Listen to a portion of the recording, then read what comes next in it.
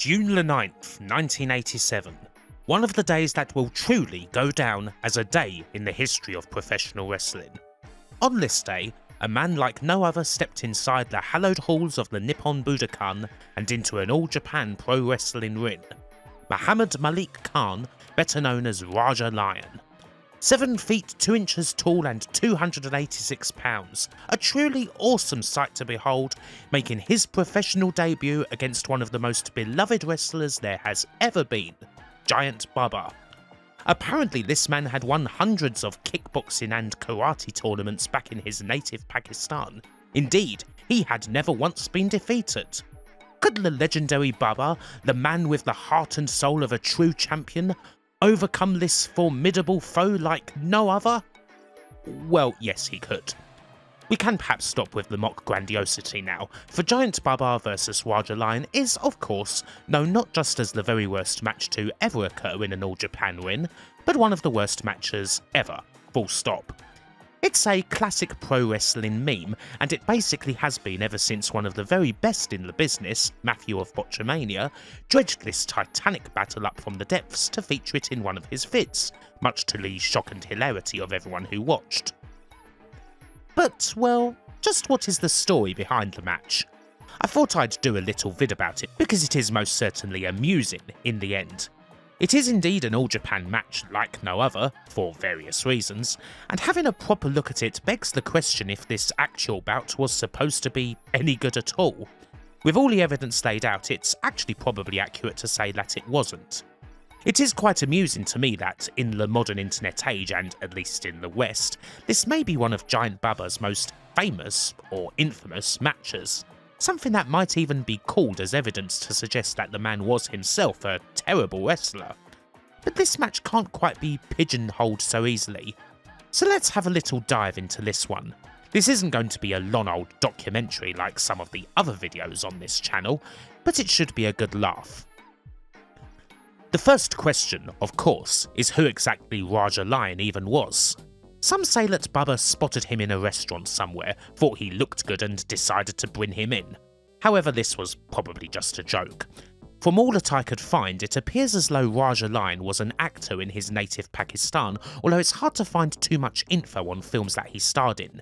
He does have a single credit on IMDb for the 1989 film Blood Fight starring Bolo Yeung. There's also a clip of him going around where he's on that high watermark of quality entertainment, a Japanese variety TV show, where essentially everyone coos about how tall he is. In any case, in storyline, Raja Lion gets brought into the world of All Japan by Tiger Jeet Singh, one of the top foreign heels, as a part of his own long-running feud with Baba. Truly this 7 foot 2 inch monster from Lahore is someone who Baba can't possibly hope to beat. From what I can tell, Raja Lion first appears on the May 2nd episode of All Japan's TV show, on a show that was taped the previous day at Korakuen Hall. He comes in, all tall and everything, and has a little sparring exhibition against someone with long hair and big sideburns who, unfortunately, I do not know.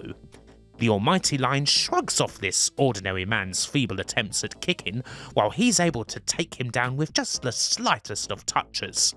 Indeed, sometimes just the very force of the wind from Raja's strikes is enough to send this man reeling.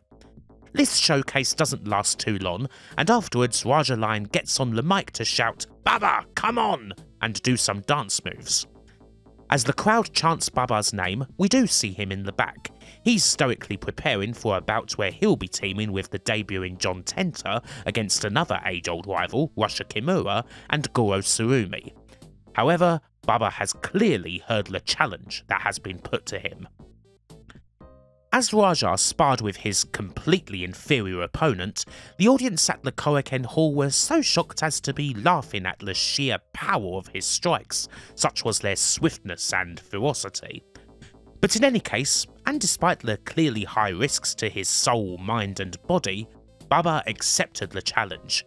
He and Raja Lion would meet at the Nippon Budokan on June the 9th in a special match consisting of 10 3-minute rounds that was actually dubbed as a super fight.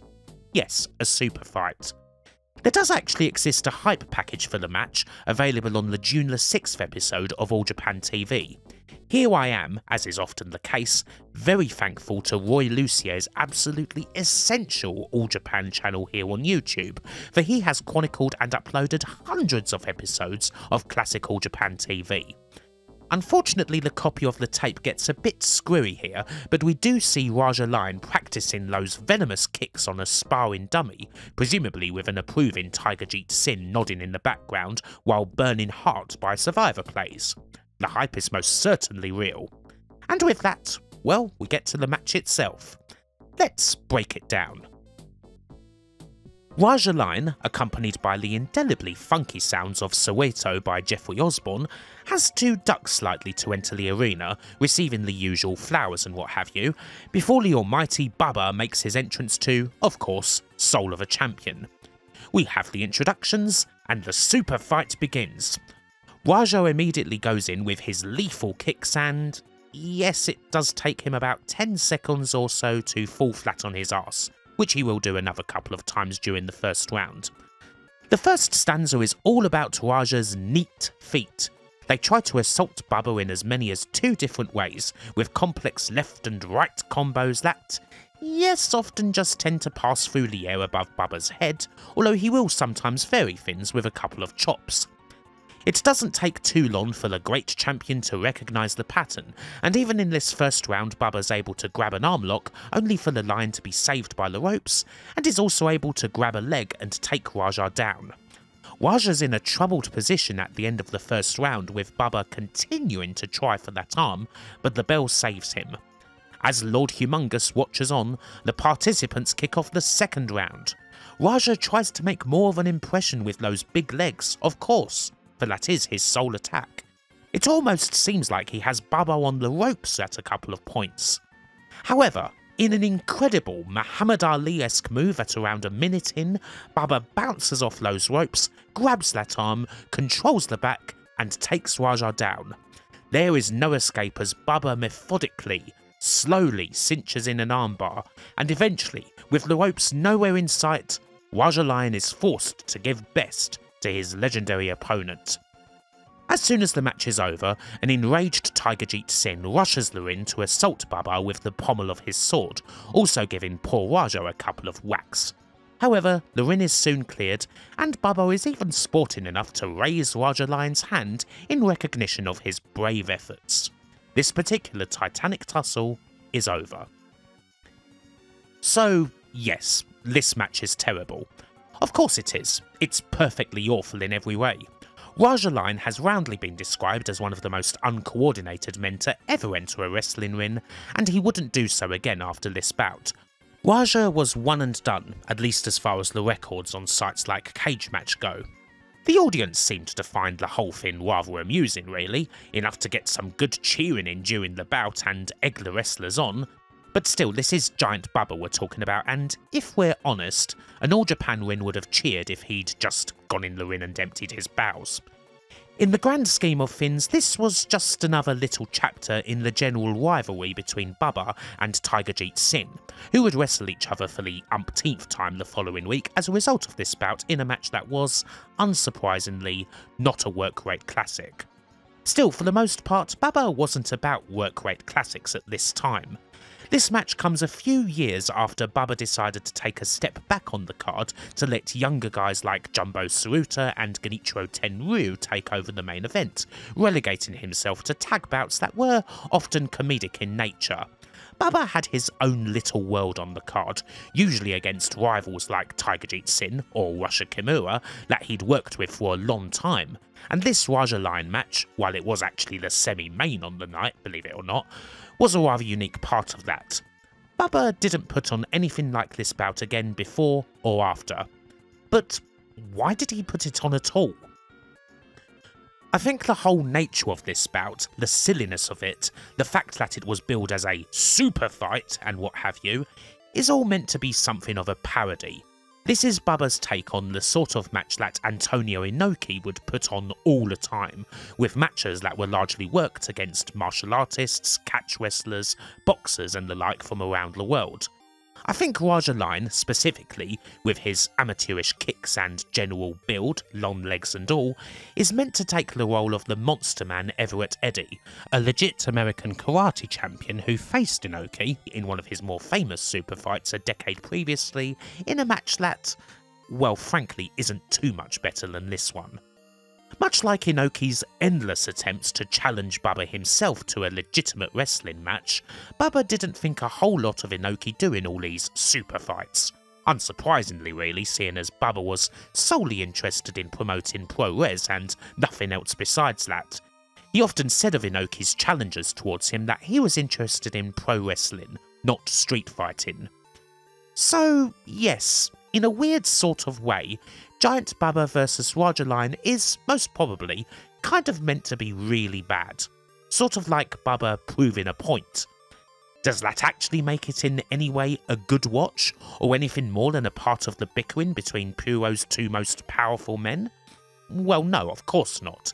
It is still an utter dog of a bout that wouldn't have had any business being on a card staged in an abandoned love hotel, let alone the frickin' Budokan but it does add a bit more amusing interest to the whole debacle. Happily, it wasn't something that Baba repeated.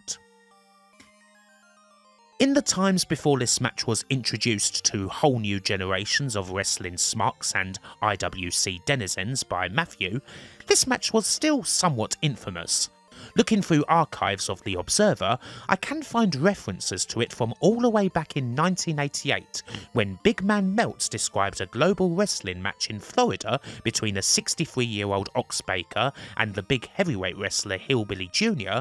as even worse than Baba vs. Raja Lion. I'd hoped to find this match and compare the two, for science, but sadly I couldn't track it down. It is also worth noting that All Japan themselves recognised the badness of the match in 1992 when they ran a historical special highlighting some of the best and worst bouts from the company's history. And yes, Baba vs Raja Lion was featured on the show. And as for where Raja himself is now, well, as of a few years ago, it appears that he was working as a security guard in Dubai. If the dates that are down for him are correct, he would be 57 years old now. He was only 21 when the superest of all fights with Baba took place. It should be noted that only a few months after this, he narrowly avoided tragedy. Tiger Jeet Singh booked Raja Lion for a winter tour in South Africa. On November the 27th, he decided to take a flight later than the one he was scheduled for, and the flight that he was scheduled on, South African Airways Flight 295, would catch fire in the air and crash into the Indian Ocean. All 159 people aboard lost their lives, including All Japan wrestler Kazuharu Sonoda, Kenta Kobashi's co-trainer, as well as Sonoda's wife. Finally, well he was immortalised in another way, by the makers of the most legendary series of pro wrestling games. Raja Lion was included as an unlockable in two Fire Pro Wrestling titles, Final Fire Pro on the Game Boy Advance and the WonderSwan edition, this here is an accurate recreation of Fire Pro's Raja Lion running in Fire Pro Wrestling World, naturally against Baba. And as you might expect, he has virtually no moves and an overall total of 35 points, making him functionally useless. But at least you can recreate this tussle whenever you want. And with that, I think we have just about exhausted everything on this classic pro wrestling meme. It may be one of the worst matches of all time, but there is certainly a little bit of intriguing story behind it. It is something you should probably watch at least once, just to say that, you know, you've done it. Hopefully you've enjoyed this little look back at the bout, and until the next time, bye for now.